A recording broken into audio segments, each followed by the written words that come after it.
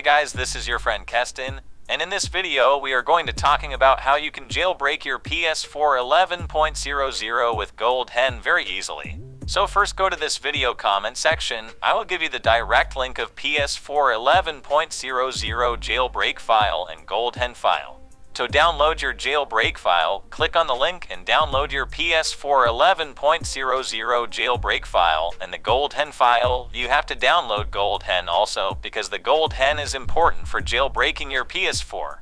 After downloading your both jailbreak and GoldHEN file, you just have to simply plug your pen drive on your PS4. After plug your USB to your PS4, then simply activate the jailbreak on your PS4. After jailbreaking your PS4 successfully, you just have to simply activate the GoldHEN and then boom guys, you can now enjoy your PS4 with lots of fun things. This is the perfect and legit method to jailbreak your PS4 11.00 firmware. And the best thing of this jailbreak is this jailbreak is fully stable on any PS4 with firmware of 11.00.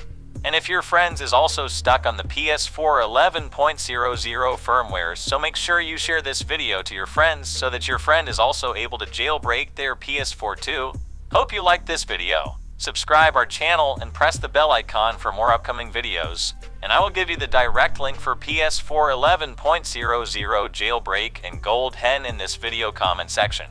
So okay guys, I will meet you in my next video till the take care and goodbye.